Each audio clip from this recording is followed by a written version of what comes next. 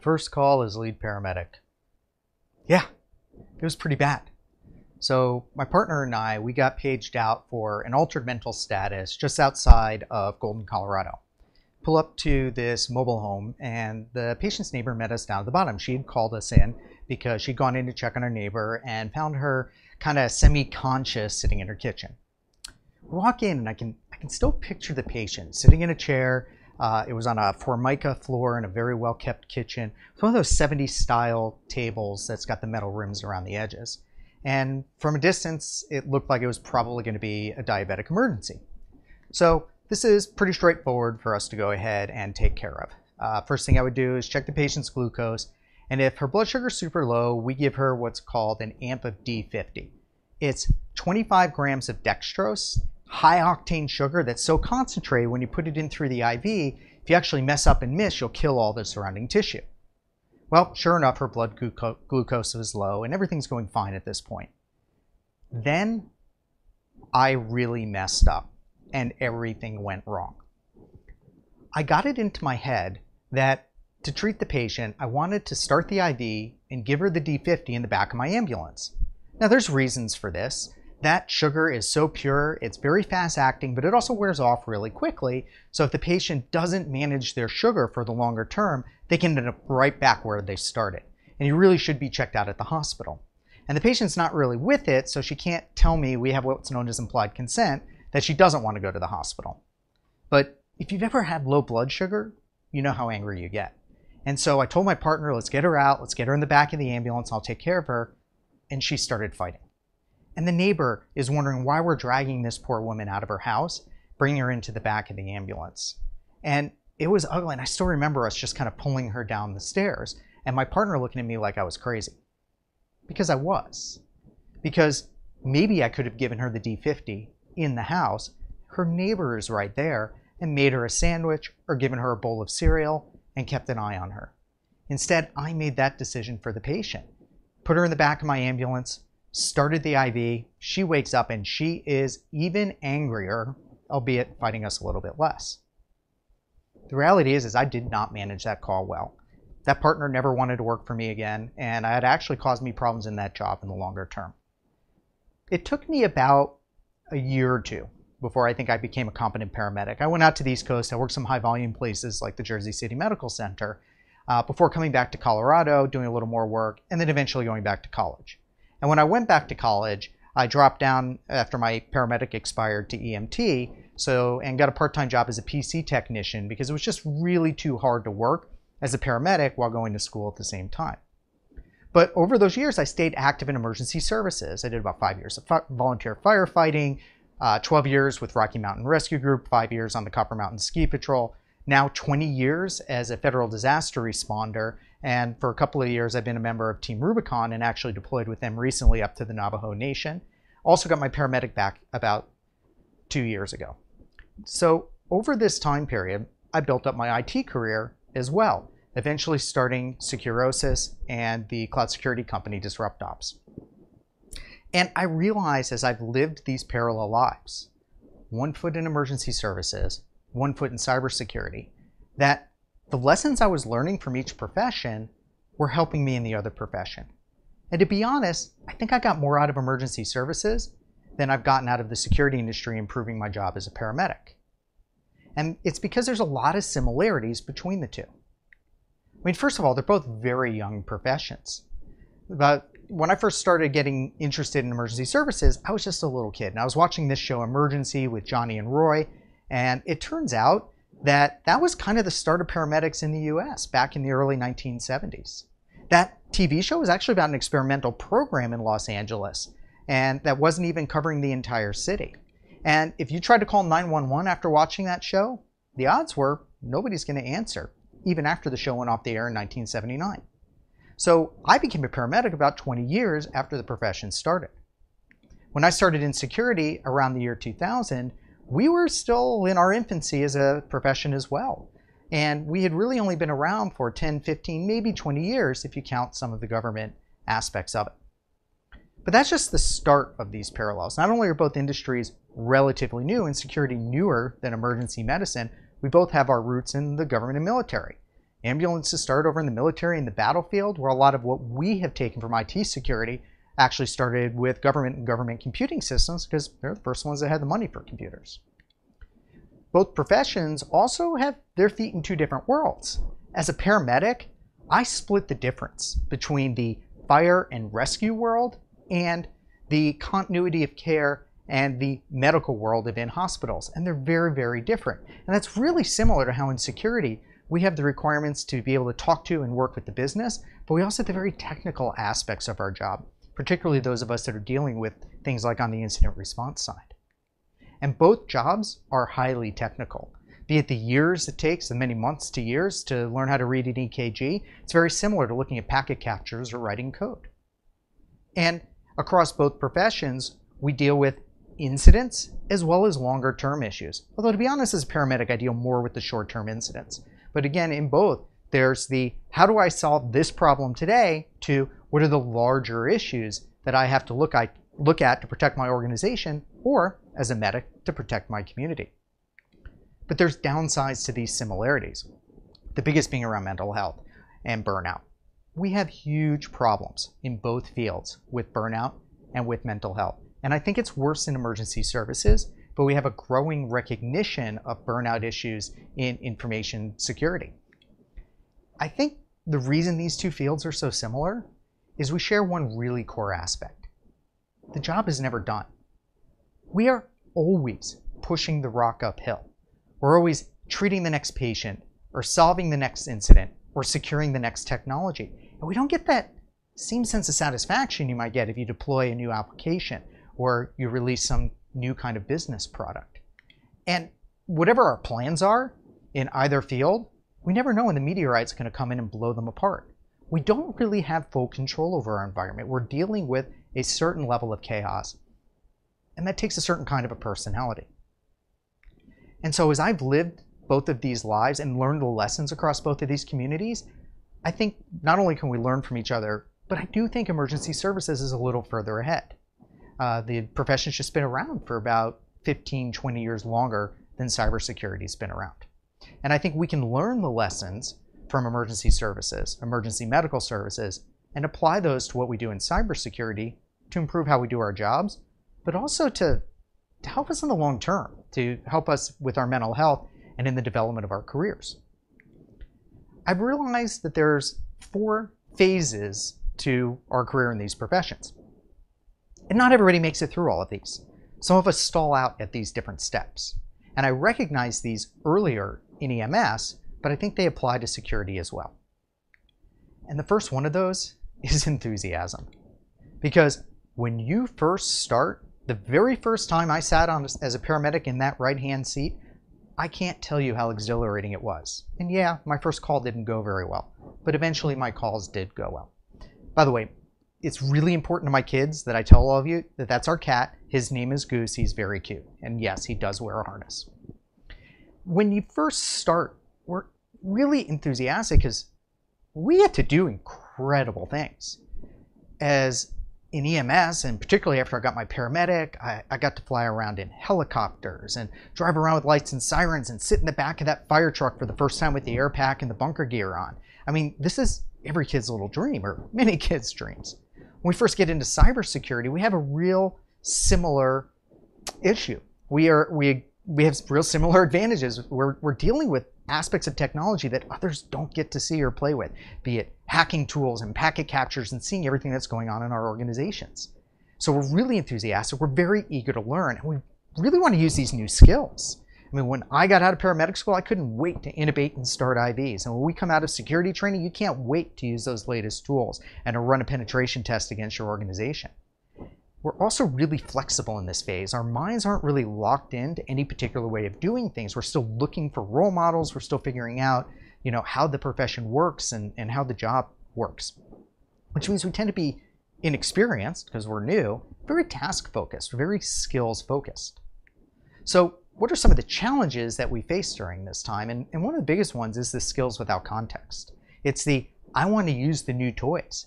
I want to use the new skills. I want to intubate a patient while I'm wearing full hazmat gear. And that's great. I've never done that on a real patient in my career, although some of those skills are actually helping now during the COVID era. But it's the understanding when to use these tools we don't really yet. And we tend to overtreat and we tend to overuse our tools and tend to over rely on our technologies versus seeing that larger context. Another really dangerous problem is picking the wrong role models.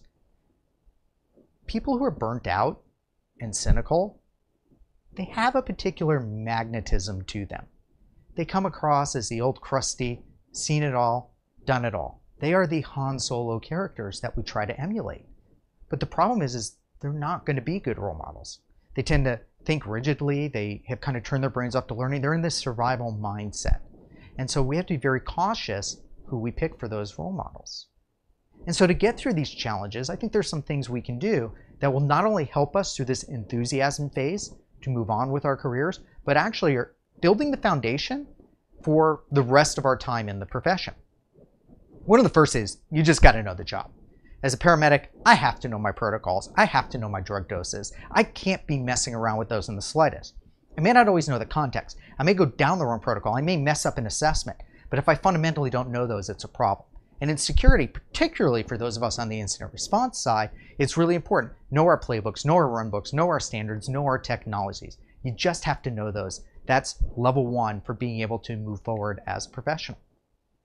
Now, one thing that's becoming more recognized in the medical community is the use of checklists, particularly for complex and harder procedures. Uh, I know I've actually started building a lot of these when I do security work, particularly hands-on, so that I don't miss steps and I don't make mistakes. Because no matter how much experience you have, you might still make a mistake. This is a checklist built by uh, a physician who's one of the probably the best in the country at managing airways. As for rapid sequence intubation, it's where we sedate uh, and then we paralyze a patient. Something paramedics do, it's something physicians do. And think about it, they can't breathe anymore. So if I don't have every piece of equipment I need and through two or three layers of backup equipment that I might need, if I screw up, I can easily kill that patient. And checklists are the kind of thing you don't just use in the beginning of your career, you can use them throughout your career. Just go ask the next pilot next time you get on an airplane, if we ever get on airplanes again. Now there's another skill that you want to try to start developing at this phase, which is harder. That's the idea of zooming out. It's can I take a step back and look at the bigger picture? It's what I didn't do when I dragged that poor woman out of her house. I was on a mountain rescue call once.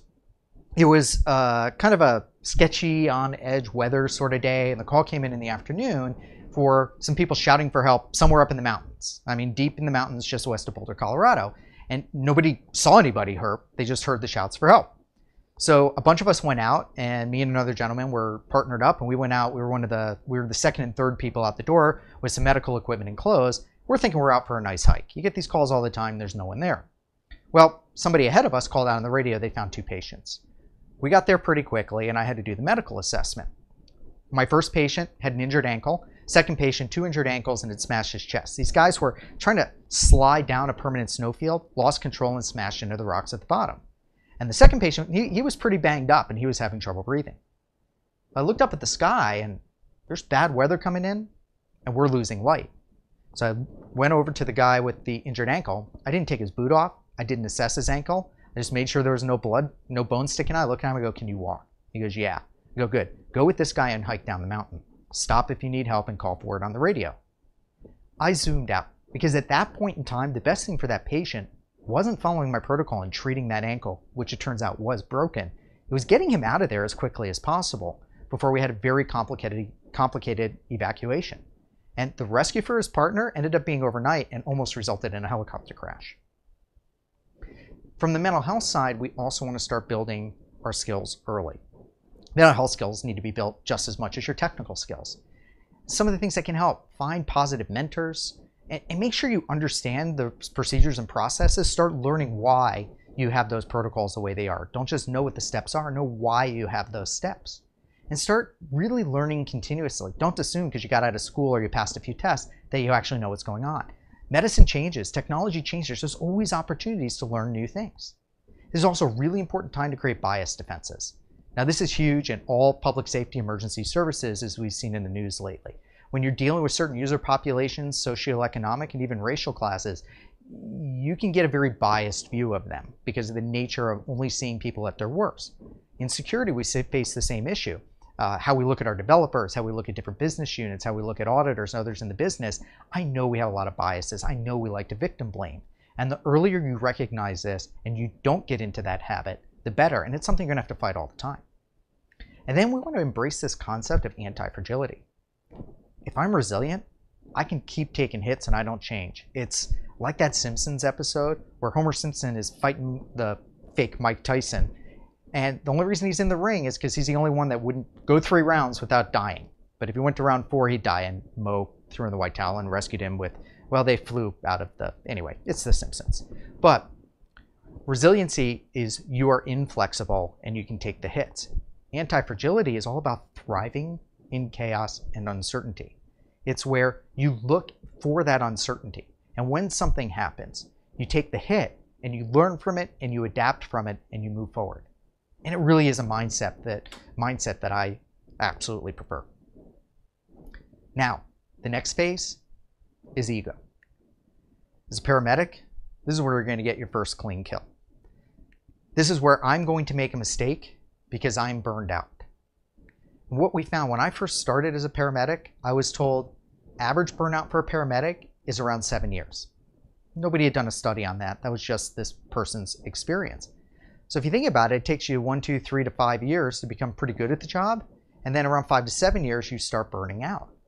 And that's going to happen if you don't actively manage and try to prevent that burnout. Why is that? Well, you've seen a lot and a lot of things that are hard to handle. And so you you kind of stop listening. You jump to conclusions because you're seeing this constant repetition of the same things over and over. Your sleep can be affected. There's exhaustion. Maybe it's because of the psychological aspects of the job, or maybe it's just because you're rotating shifts, so you've got too many pager calls in the middle of the night. This is also where uh, having a beer after work may become more of a crux and a dependency because you're now uh, abusing substances as a way to escape from the burnout and your dissatisfaction with what's going on. And you're just caught in this endless cycle, seeing the same things over, responding the same ways over in, in a very unhealthy cycle. We can measure this. Something known as the Maslach burnout inventory. I actually learned about this from a couple of people in the cybersecurity industry, Jack Daniel and Josh Corman, who both took time out to give me some results of a survey that they did around information security. And uh, Josh actually did a great presentation in 2019 with uh, Dr. Maslach, who created the burnout inventory. What we found, or what they found, is that in security, we hit all three criteria. We're red in exhaustion, we're red in cynicism, to the point of where Jack Daniels says cynicism is our core competence, and we're low on perceived self-efficacy. Are we feeling like we are making a change? That's actually split. There are people in the security community that feel like they're making a change. Those more on the incident response side feel like less like they're making a change. And burnout's something we have to battle all the time. So how do we get through this ego phase? Well, it's a combination of mindset and process. On the mental health side, this is where we really have to focus on the fundamentals. There's no surprises here. People have talked about this over and over again. You need to eat healthy, you need to exercise, you need to sleep. You need to rely on more peer support. One of the great things that uh, we can do in some of the places I work EMS is, for example, when I got back from my deployment to Puerto Rico, they actually in the federal there was a database someplace where I got a call a month or two later just to make sure I was okay. With Team Rubicon, that's absolutely essential. There's like monthly buddy checks to make sure people are okay and mentally okay. And picking the right peers can be a very large part of this. If you hang out with that cynical, burnt out crowd, you're going to be cynical and burnt out. Think about it. When you're enthusiastic, you're trying to impress those above you. But when you've been around for a while, you're trying to impress those below you. And that can actually get into this vicious negative cycle. And then having workplace support really helps. I think we're actually better on this, believe it or not, in security than in EMS. Uh, particularly some EMS companies do a really poor job. People don't get time off, they're low paid, they don't get a lot of benefits, and, and we do. We just have more money in security than people in EMS have, which helps. But both industries also have toxic environments. And we need to recognize that and try to avoid those if we can. Because, you know, ego, burnout, these are rivers that are constantly eating away at our mental health foundations. And we need to constantly be rebuilding and refreshing those foundations through our career. And this is why I say start with that mental toolkit early, recognize these issues early, be aware of them because it's going to give you a better chance to protect yourself from them as you move forward. Now, that feeds into some of the process issues because some of the problems you make and the reason as a medic I might get a clean kill at this phase is I stop paying attention and I stop the fundamentals. I start jumping around a little bit because I now have the experience to do that. This is where what I call second level pathways or protocols make sense. These are the kinds of things that physicians are often very good at that we as paramedics need to spend a little more time with. This one's from Advanced Medical Life Support, and it's a patient assessment pathway to make sure we're both we're constantly assessing and reassessing patients, and we're not missing anything. And it really comes down to you know making sure that we introduce the right kind of processes and we stick with those even when we start being very very good at our job. Information security, we don't have a lot of these. We have some stuff in incident response, we have some written technical processes, but I think it's a real big place where we can grow as a profession to start really operationalizing what we do in both generic ways and in the individual incident with the individual technologies as well. And now at this ego phase, though, we are competent at our jobs. So this is a time where we can really build some of these advanced skills. Uh, I talked about zooming out, keeping a flexible mind, continuous learning, uh, doing drills and exercises. This was a great one we did with the federal government. It was a TOPOFF, they called it, where we did a simulated weapon of mass destruction. It actually involved an attack in multiple states throughout the US. So I got flown up to Seattle, and you can see that I'm in the decontamination tent in our full hazmat gear, taking a picture of the bus that they fake exploded and threw onto its side as we're treating hundreds of fake patients. Those are the kinds of things that really make a difference, just drilling in and challenging us mentally to keep us on our toes. So that we have the flexibility to adapt to new situations and the decisiveness to make a decision uh, and actually act. We had an exercise once where the person running it got mentally locked up. Things didn't go the way she expected. She didn't have that mental flexibility. As a result, she didn't act, and that whole exercise fell apart. Thankfully, it was an exercise and not a real situation, but I think we all know that it happens in real life as well. The ego phase, some people skip it, and some people never leave it. This is that really tough area, and it's the most I think, personally challenging phase, challenging phase to go into because your ego gets pretty strong because you know what you're doing, but you are also fighting those burnout and those mental health issues, and it can really be a bad combination. And it really comes down to your choice. Do you want to move forward or do you want to stay locked into that negative cycle? Because the next phase has its own challenges, and that's empathy.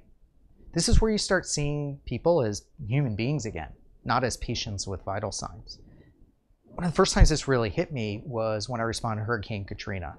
And we actually ended up in Houston where we started off by triaging 900 patients in three hours, and then we were helping provide medical care in the stadium where all these evacuees who'd come out of New Orleans had gone to. And when I'm dealing with 900 patients in a matter of hours, and I have to do assessment after assessment after assessment, it's important to remember that for almost every one of them, that was possibly the worst day of their lives that they were experiencing absolutely horrible things. And really, I'm not going to be providing much medical care. Most of them didn't need any medical care. But what I could bring in is empathy and kindness. Make them feel like human beings as they're being shuttled around and treated like meat on these buses. Making just that small difference in someone's day. And when you start earlier in your career, you don't feel personally rewarded by making those kinds of small differences. But I really think that that's what separates the true experts in our field from people who are kind of younger and earlier in their career. And it's tough because you have to learn how to empathize without sympathizing too much. What's the difference? Well, uh, when I deployed down to Puerto Rico, things had been torn apart. And we ended up in a series of our disaster response tents in the parking lot of a hospital. We were functioning as an ICU. We had a patient come in with diabetic ketoacidosis, uh, DKA, which is high blood sugar versus the patient I talked about earlier with low blood sugar. And this woman, uh, she was actually from Florida. She lived now in Puerto Rico, but she was originally from Florida. Of course, Florida. We'll get there. No offense to our watchers from Florida. But she came in with the high glucose, and she knew she was in a hospital, and she quickly became drug seeking. And she wasn't very kind to us as the staff, even though we were trying to treat her with dignity and respect, because however horrible it is and her drug conditions and everything else, she still had probably lost her home like most of the other people they were dealing with, and there was certainly no electricity or clean water around. Well, at one point, the flight nurse and I, who were treating her, talked to the physician assistant who was responsible for overall care, and he said, just give her the meds. And we're like, she's drug seeking. You don't give a drug seeking patient uh, opioids. And he goes, look, guys, we're not changing her life today. We're not going to change her life decisions today. We need to treat her, get her out of our room, open up that bed for somebody else. And us withholding that drug isn't going to make that situation any better. And so we did. And I learned that day to be able to empathize and treat her like a human being without once justifying her poor decisions. And this was hard because I was starting to suffer from compassion fatigue. Compassion fatigue is really different than burnout. Think about it as we have a gas tank for empathy, we have a gas tank for compassion. At a certain point, you're going to run out of fuel. And the more you get into this empathy phase, the more that you're going to be challenged with compassion fatigue because you can't just close yourself off like you do when you're burnt out. And compassion fatigue is very well recognized within the medical industry. Uh, there's something the Compassion Fatigue Project. I've got some links actually that that will go out with this presentation, and a lot of it comes down to the regular same mental health funda- uh, fundamentals. Now, with compassion fatigue, it can be very short term. I did not get compassion fatigue when I was treating those hundreds of patients from Hurricane Katrina. I did get compassion fatigue from this one patient who was just sucking my life out of me as I was trying to deal with her and as she was trying to get what she wanted out of the system. And so it's really important to recognize that. And I'll be honest, we are really bad at that in security. We like to blame victims. We like to blame business units. When the reality is, is in, in many cases, maybe they are making the wrong decisions, but maybe if we listen and try and understand why they're making those decisions, we can better manage the situations and be better professionals. At this phase, our skills actually do really have the potential to start ramping up. So if we can get through these mental health and the empathy and the sympathy, we know our fundamentals cold. We hopefully are still learning. We have those flexible minds. We've kind of graduated from making those ego-based decisions. And one of the things that we can start doing more is moving from pattern matching to reasoning. This is something I'm still really working on as a paramedic. I think I'm better at it in security. These are those medics when I look at them, and if they hear hoofbeats, they can tell the difference between a horse and a zebra from across the room. Because they're actually able to think through the situations instead of just looking at the blood values and assuming uh, they are what they are. They actually think through the problem and understand the physiology behind it. And that really just does take a lot of experience, a lot of time, and a lot of continuous learning. So this is something that we can strive towards, and we can do this in security as well. I think it's one of the things that, that's helped me a lot in my world when I'm dealing with uh, cloud security issues is I know the fundamentals of my platform so well, and I can kind of reason through why things are working or not working the way they are. And as a result, I am able to better assess risk and be able, better able to manage risk. Now, the last phase is enlightenment. No, not cosmic enlightenment. But at this point, we are hopefully anti fragile because you can't get through everything that I've just talked about unless you have learned really strong coping skills. Because either you become anti fragile or you burn out. And trust me, just because you burnt out doesn't mean you stop working, but you're not going to be a positive influence on your coworkers, your patients, your organization. And we're have kind of a balance as well as a better perspective because of all those years of experience and working through these issues. Now, at this point, we have a lot of baggage. I see some pretty horrible things as a paramedic. Plenty of dead bodies, dead kids, maggots, smells, rotting flesh. Like, I don't want to go into it. You don't care. Domestic violence is probably the one that really gets me the most, or one of the ones that gets me the most. It's pretty bad, but I'm okay. And I'm okay because for me, what I've managed to do is compartmentalize. And everybody has different techniques to do this. I use context shifting. I try and keep work at work, and then I have my home life and my non medical career and my hobbies on the outside. And you really got to break those apart. If all you do, and we, we call them sometimes the rescue randies in the uh, uh, in the emergency services community, where they work all day and then they volunteer and they take pages all night for another agency. That's not sustainable. You have to have the ability to turn it off and go do other things and compartmentalize that, particularly if you're working in busier areas. We need to do that in security as well.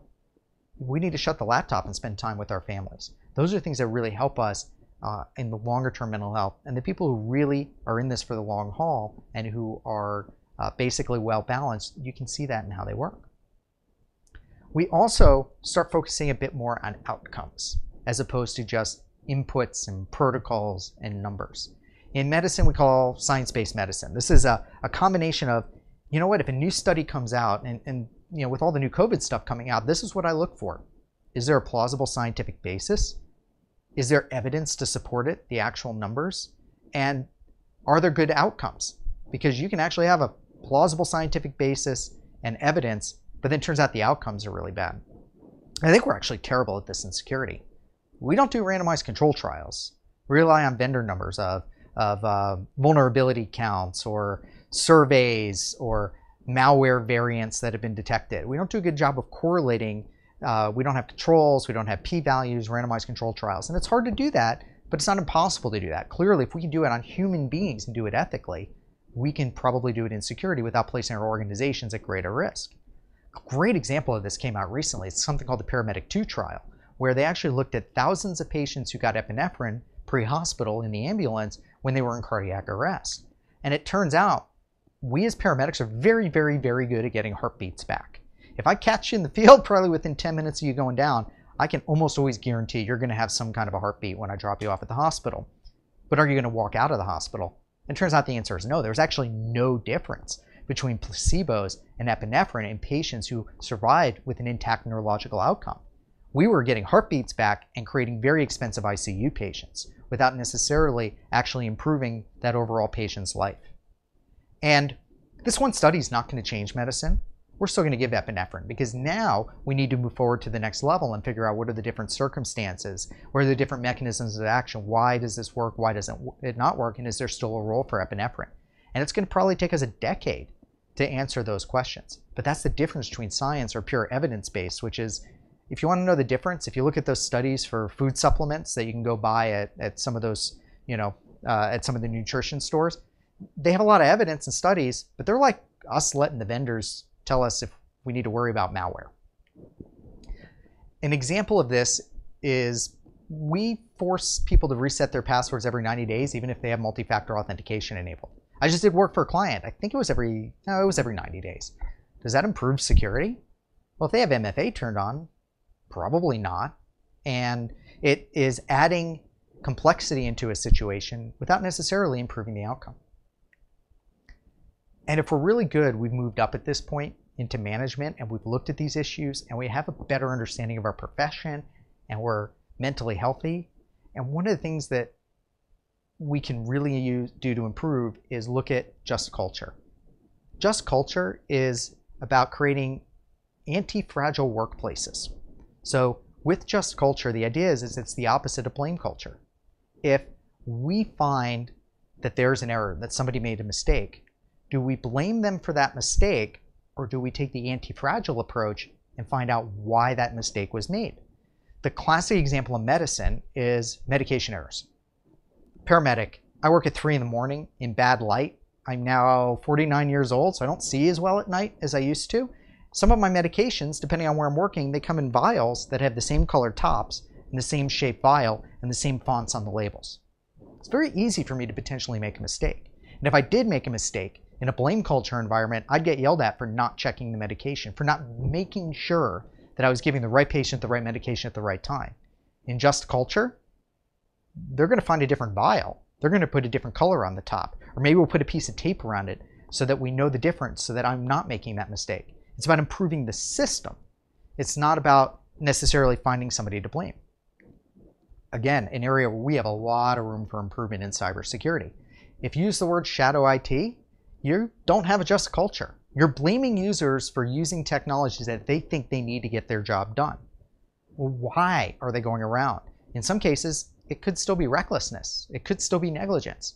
But in other cases, maybe we're just not giving them the right tools or we're not understanding their needs. Enthusiasm, ego, empathy, and enlightenment. We don't all go through these phases. And we don't all go through them in the same time frame. It's just a way of thinking about it. Myself, I don't think I'm in enlightenment in emergency medicine yet. I think that moving to a part-time paramedic has inhibited my ability. There's things I still don't have fully internalized that I would like to in terms of my practice. But I think I've nailed the empathy. Recently, I was up in the Navajo Nation helping with the COVID response. I was out there with Team Rubicon, which is an amazing organization. And we had one patient that came in every night, alcoholic. The police were dropping him off because they were just finding him on the street, wanting to get him out of the way, or he'd wander in because he wanted a place to sleep. And this guy's brain was fried. But he was a nice person. And we, I would not have treated him as a human being earlier in my career. I didn't have the right role models for it. I didn't even think about it. It was just another drunk getting in my way. But I tried my best to treat him with empathy and compassion. And so did the rest of that emergency department to the point of where people brought in clothes. And then one night, myself at, and the EMT that I was working with, we actually stripped him down and we cleaned him off with wipes. This is not in any paramedic or nurse's protocols unless somebody's in the hospital for days or weeks. We cleaned the guy down. I even trimmed his fungus-ridden toenails. Because the thing is, is we weren't going to make him not an alcoholic. We were not going to be able to change his long-term life decisions. I was not going to justify any of those decisions. But he was a human being who was having a really bad time. And the best part of that was I got to do it with this EMT.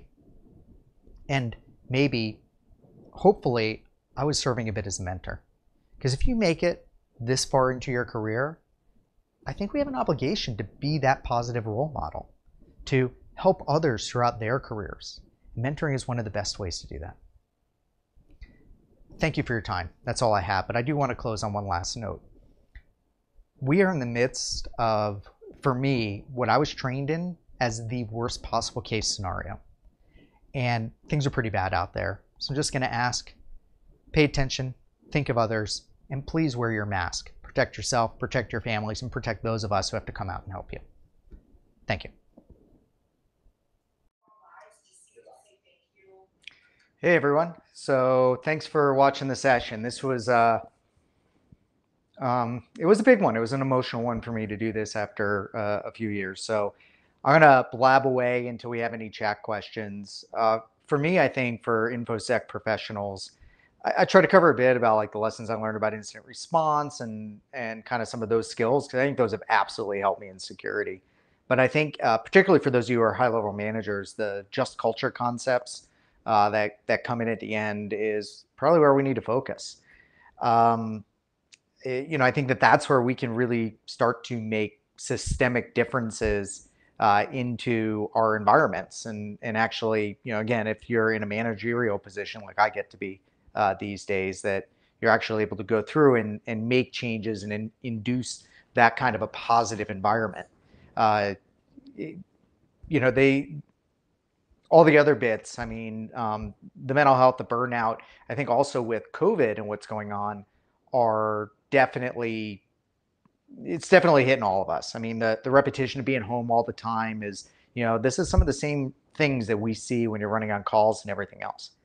Um, by the way, I appreciate all the comments in here. Um, you know, ask questions. We got a couple of minutes left. If you have anything else that you want to hear about, uh, you know, kind of uh, what went into putting this one together and everything else. But I had a blast. I mean, I was I spent like two three years planning this. Um, I think like Kirsang who's watching this and a few other people, uh, you know, many uh, conversations usually at Black Hat and DEF CON and frequently. Uh, let's just say, while alcohol abuse is bad, a little bit at your conferences and stuff uh, isn't always bad if uh, if you're okay with them you know, kind of over those late night drinks, talking about a bunch of these concepts and and trying to put it into that framework of those four phases. Those were all like things I really tried to do to uh, kind of bring it in. And I, I, honestly, until I started seeing the feedback you guys are sending here, I didn't know if anyone cared about this stuff. Uh, you know, it's not the same. I'm used to giving technical talks and you know, and defensive technical talks. So uh, I think, am I out of time, guys? Um, I did put the link in the chat room if you want to go ahead and uh, carry on a conversation. But otherwise, enjoy the rest of Black Hat, and uh, maybe we'll get the chance to meet each other, meet, meet up again next year. Uh, hopefully, we'll be having this stuff dealt with by next year. Uh, with the crispy role models, yeah, if you identify you're the crispy role model, it's time to get mental health. Actually, uh, that's a um, you have to take a step back, separate yourself. And I had that. I got in trouble at the stuff at Securosis. My partners had to talk to me because I was going down a bad path. Unfortunately, they did. And I, instead of fighting back, I recognized it and I recognized my own issues. Uh, took some time and was able to come back. Uh, so with uh, Uh, I got 10 seconds left, so I'm going to have to answer the other questions over in the Zoom. I'll pop it over again, but um, yeah, there were a couple of other questions. Uh, yeah, and thanks for the uh, Eric for the the extra camera thing was a bit of a risk, but I think that played out all right. Thanks everyone, and uh, I'll see you maybe over in the Zoom.